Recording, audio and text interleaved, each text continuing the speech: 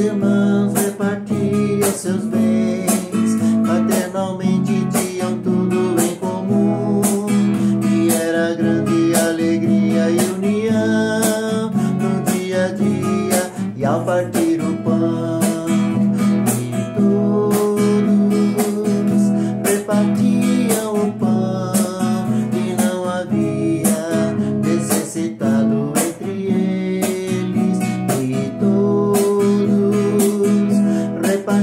pedia o pão e não havia necessitado entre eles.